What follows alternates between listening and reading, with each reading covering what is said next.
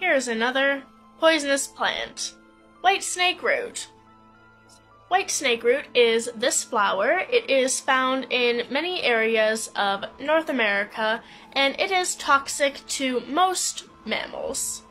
It is toxic if ingested by humans or livestock or pets, and also if a some livestock ingest this snake root. So, for example, if a cow eats the snake root, it's not a good time for the cow. But if the cow is milked before it dies, then anyone who drinks that cow's milk can also get the toxins from the snake root. So you can get poisoned by a cow who ate snake root if you drink their milk, which is fun. So, in areas where snake root is found, even if you don't yourself eat it, there's still a risk. So, there has to be screening for snake root in pastures and like paddocks and all that to make sure that livestock is not eating it so they don't accidentally poison you when you drink milk.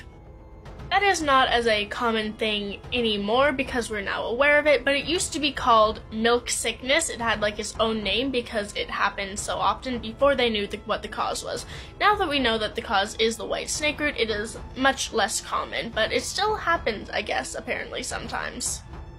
So the chemical that is the toxin in the snake root is called tremetol, and it's found in the snake root. I think all parts of the plants are toxic. I don't quote me on that. I haven't looked it up, but I'm pretty sure just don't eat any of it.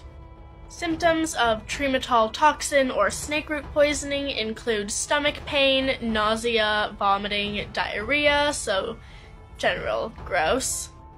That can also cause muscle necrosis, so basically your muscle cells die, and that includes your heart muscles, so it's categorized as cardiotoxic. Basically, what that means is just as it sounds, it is toxic to your heart.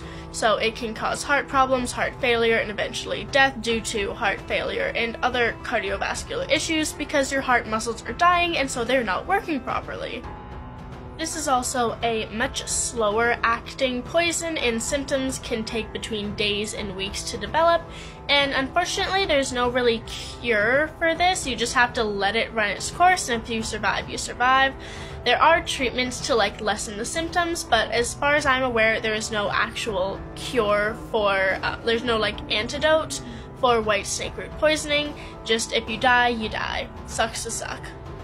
Direct poisoning by white snake root in humans is much less common because people aren't really going up and just like chomping on this. However, it is pretty com not pretty common. It used to be pretty common. It's now occasional where the poisoning happens from milk, but since it goes through the animal to the human, it is usually not fatal.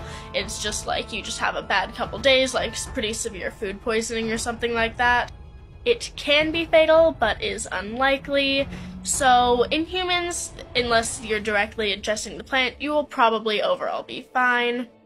And since direct poisonings from white snake root in humans are not that common, I couldn't find the actual fatal dose, so just don't eat any of it. How about that?